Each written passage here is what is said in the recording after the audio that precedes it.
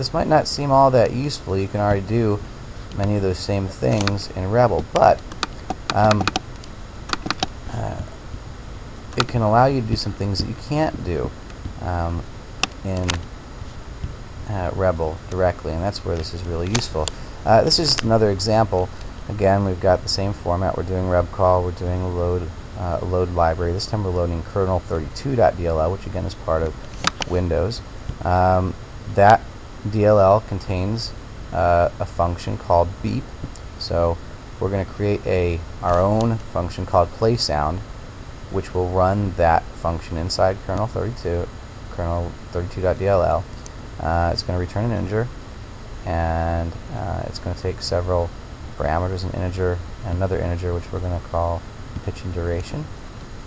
And here we're going to uh, run that play sound function that we've created, that we've exported from kernel32.dll.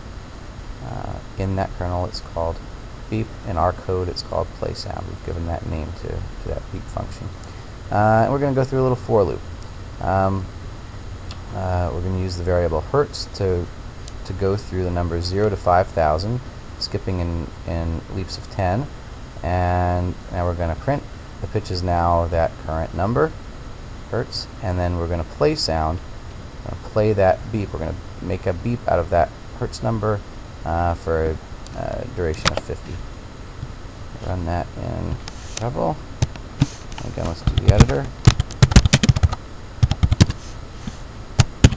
Paste it in, press F5,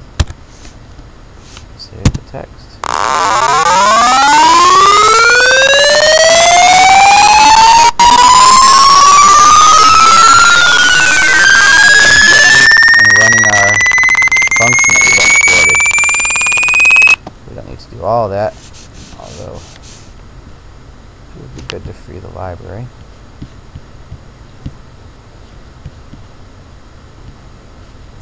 Okay, so um, all of those standard Windows API functions uh, you can find in, in uh, several nice little programs that show you the format, the parameters, the return uh, uh return values that can be sent from all those functions. Uh, a couple links here that let you download some programs that that uh, show you these things in a nice format.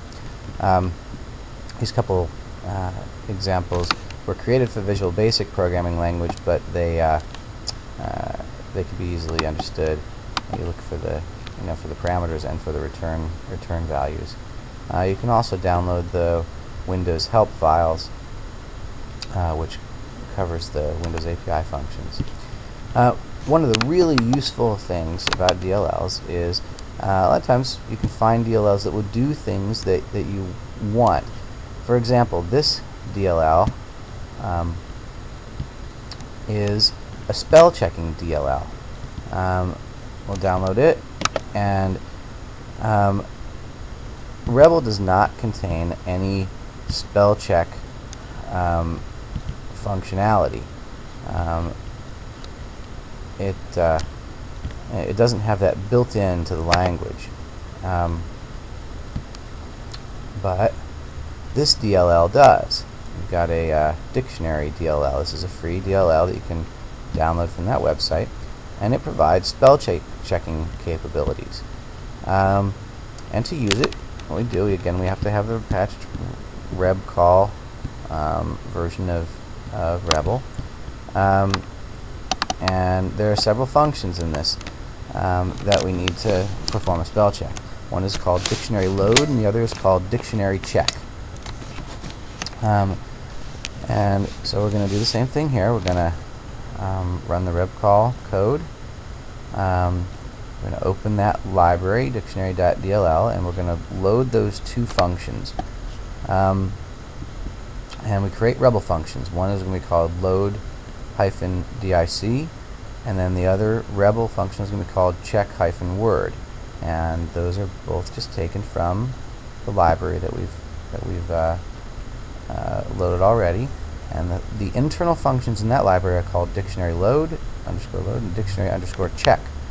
And uh, we've created our own functions called load hyphen dic and check hyphen word.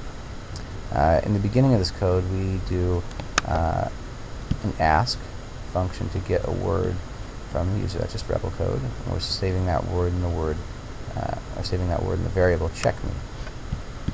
And then we run the load DIC function, which just loads the dictionary from the DLL. Um, and then this actually checks the word, and it, and it passes back, returns a um, an integer um, that we're going to save as response. So we check the word, check me, run that function, check word, check that word, check me, um, and then uh, dictionary function returns a zero if there are no errors. So um, if we got a zero as a response, there are no spelling errors. And if we didn't get a zero, that means that the word wasn't in the dictionary. If it didn't find it in the dictionary, um, I'll paste that into Rebol. Let's do this in interactive mode. Again, we'll run the editor. Um, paste it in. And run it with the F5 key.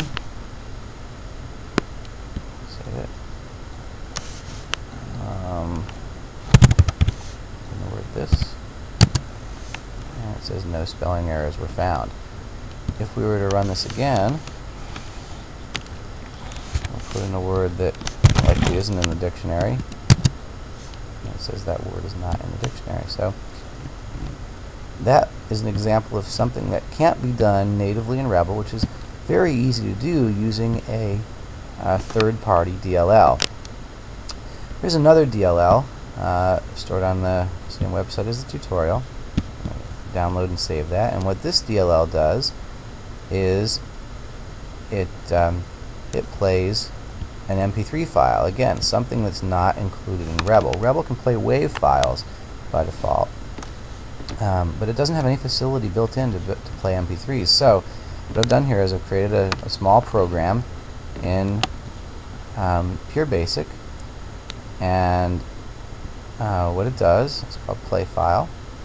Um, and it just loads the, the MP3 file. It gives us a little console saying uh, press any key to stop the playback. Um, it waits for a key press and then it closes the console in the end. That's the pure basic code. You don't have to know how to do that. All you have to know is uh, how to access that code in Rebol. Download the DLL, which is what, which is what we did. Um, what I've actually done here is at one point I compressed using the binary embedder that you saw earlier in the tutorial.